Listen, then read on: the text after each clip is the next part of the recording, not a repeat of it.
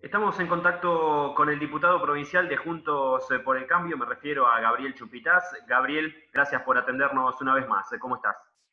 Hola Andrés, gusto saludarte. Muchas gracias por la comunicación. Eh, algunos temas que queríamos charlar con vos, eh, Gabriel, y que conoces bien a la ciudad de Rosario, que fuiste concejal de la ciudad de Rosario, que has vivido ahí casi toda tu vida, el tema de, eh, de, lo que se está quemando en las islas frente a Rosario, territorio de provincia de Entre Ríos, eh, algo que preocupa y mucho a los rosarinos y a toda la zona, digo, han respirado mal y todavía lo siguen haciendo algunas noches debido a estas quemas.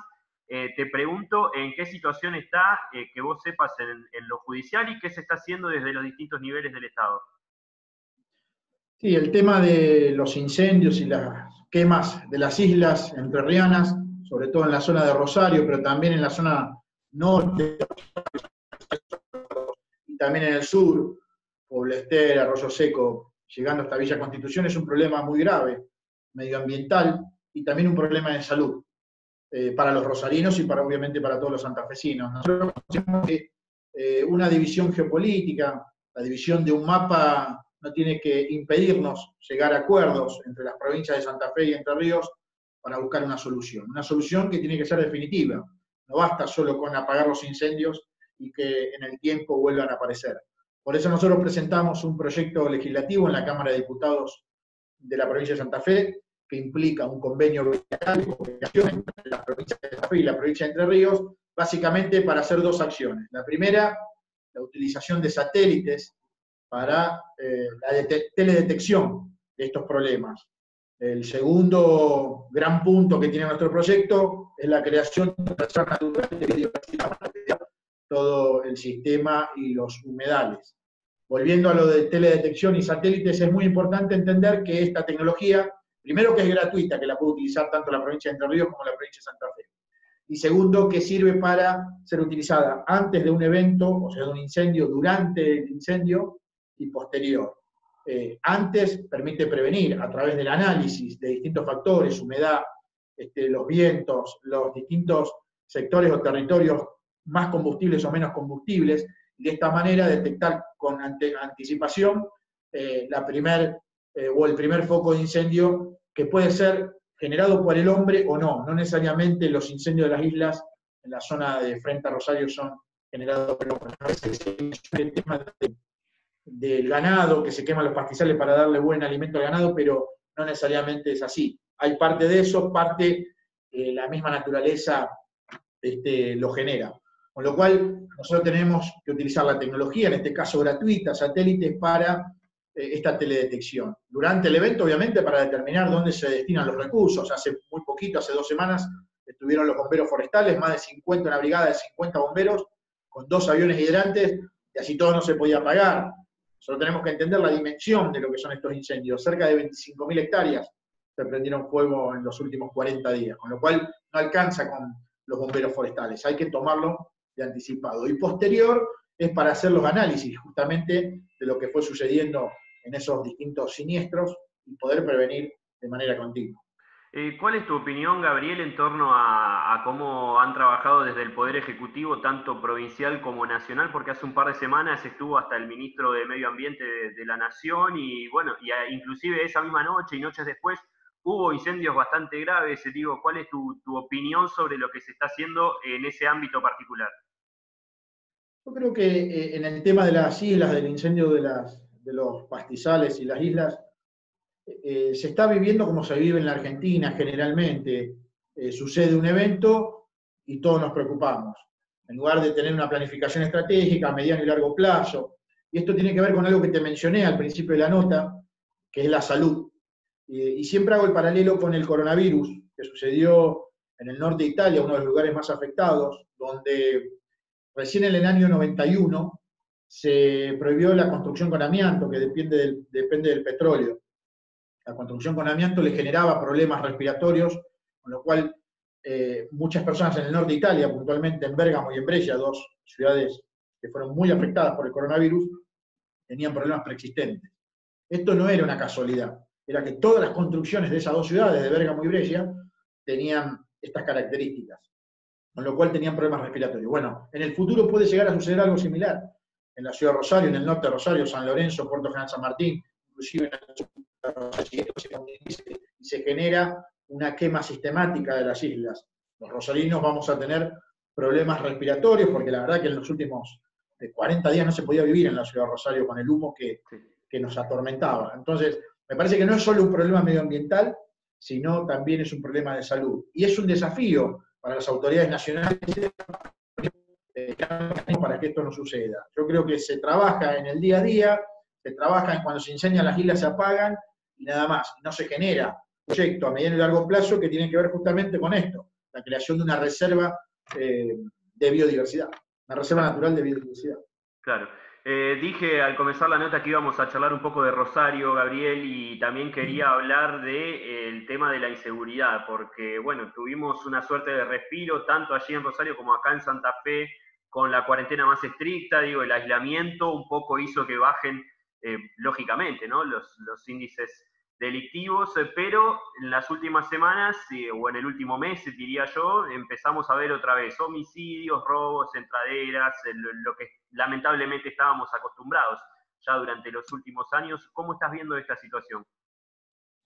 Lamentablemente está complicado el tema de seguridad, lo, venimos analizando hace tiempo, pero no solo tenemos la legislatura eh, para dar eh, solución a estos problemas.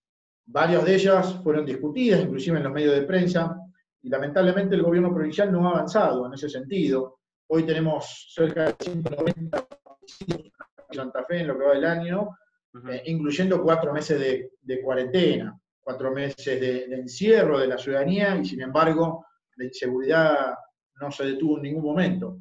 Estos son cuestiones que nos tienen que hacer prender las alarmas, prender las luces de cómo estamos viviendo y cuál es el accionar del Ministerio de Seguridad en ese sentido. Nosotros vemos un ministerio eh, totalmente diezmado, que tiene muy poco contacto y conducción política sobre la fuerza policial. Vemos a una penitenciaría también totalmente aislada eh, de la realidad. En, la provincia de Santa Fe parecería más importante liberar presos por el tema del coronavirus que eh, darle seguridad a los ciudadanos. La ciudad de Santa Fe también supera los 50 homicidios, la ciudad de Rosario más de 90 homicidios, y, en general en toda la provincia. Con lo cual, eh, si hay esto es a la seguridad común, estamos, analizando hace tiempo, pero lamentablemente hay autoridades que no, no quieren escuchar, como por ejemplo nuestro proyecto de escuadrones urbanos de fuerzas especiales, escuadrones que ya existen en las fuerzas federales, en las prefecturas, gendarmería, Policía Federal e inclusive las TOE de la provincia de Santa Fe, que nosotros propusimos puntuales para la ciudad de Rosario y para la ciudad de Santa Fe, los dos pocos más problemáticos de inseguridad en la provincia.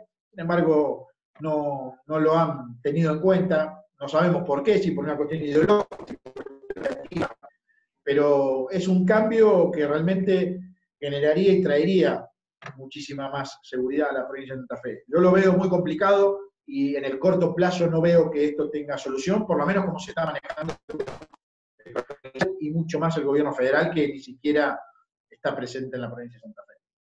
A mí de Marcelo Saín me hablan muy bien, Gabriel, desde distintos espacios políticos, inclusive en lo teórico, en lo académico, en lo que ha sido su trayectoria, en las cosas que, que ha escrito, más o menos. Digo, eh, todo el mundo me habla bien de Saín fuera del escritorio que hoy ocupa. Y después cuando hablamos de Saín, Marcelo, como ministro, ¿cuál es hasta ahora, ya con siete meses de, gestión, este, tu, tu, opinión sobre, sobre la figura del, ministro? Sí, generalmente yo trato de opinar sobre ideas, proyectos, políticas públicas, no opino sobre las personas, pero sí hago un análisis eh, más filosófico, sobre lo que tiene que ver la seguridad objetiva y subjetiva. Nosotros en seguridad dividimos la objetividad y la subjetividad. Objetivamente, el Ministerio de Seguridad de la provincia ha sido un fracaso rotundo, porque así lo dicen las estadísticas, las mediciones, así lo dicen los números. Eso es algo que se disparó en los últimos 6-7 meses.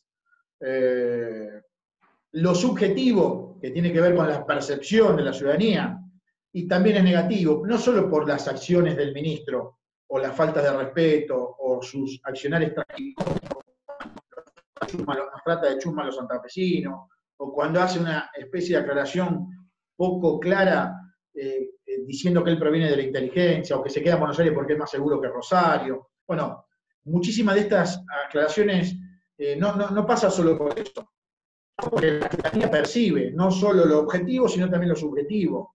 No está dispuesta la ciudadanía santafesina a soportar este, este nivel de, irresponsabilidad, de falta de respeto por parte de un funcionario provincial. Entendemos que un ministro de seguridad es un funcionario importante, eh, diría de los tres más importantes en una cartera provincial.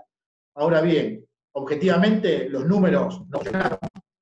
La ciudad de Rosario y la ciudad de Santa Fe son las dos ciudades más inseguras de la Argentina, y subjetivamente tampoco, porque no existe ningún santafesino que pueda dar este, veracidad de que Saín ha hecho bien las cosas. Pero no digo Saín persona, yo hablo con, de sus políticas públicas, en, las acciones gubernamentales que llevó adelante. No existe ninguna persona que pueda decirlo. Sí pueden decir es un gran académico, un gran profesor, eso no se puede discutir, está en su currículum. Ahora, en el accionar, en el aporte que el Ministerio de también, Claro. E, esto de, eh, muchas veces se charló de mm, reconvertir lo que es la GUMA en Rosario, o lo que es la GCI acá en, Santa Fe, ¿esta es una posibilidad, Gabriel? Bueno, ese es un proyecto que nosotros en oportunidad llevamos adelante en el Consejo Municipal de Rosario y que Santa Fe probablemente podría replicar. Nosotros consideramos que las guardias urbanas son una gran idea, eh, pero han sido mal implementadas, por lo menos en las ciudades aquí en la provincia de Santa sobre todo en la ciudad de. La guardia urbana termina siendo un ancla, una ancla oxidada que lo único que hace es gastar dinero, gastar presupuesto municipal. El otro día veíamos en la medios unos guardias urbanos llegaban a cobrar 200 mil pesos, eh, cuando el salario de un policía es 35 mil, 40 mil, 50 mil, de acuerdo del caso. Eh, con lo cual estamos en un problema importante. Nosotros estamos viendo que en la provincia de Santa Fe ni siquiera se respeta a la fuerza policial, porque es una guardia urbana. Eso es una forma de demostrar el respeto. Cuando yo valoro a una persona, lo tengo que demostrar, no solo hacerlo, sino también demostrarlo. En este caso no pasa ninguna de las dos. Eh, y creemos que la Guardia Urbana en la ciudad de Rosario este, tendría que, cerrarse y reconvertir esos, capacitar esos empleados municipales en. Los proyectos, así un poco habla, hablamos de grouping, es el acoso sexual de, los niños, de los adolescentes a través de, las redes a través del Internet.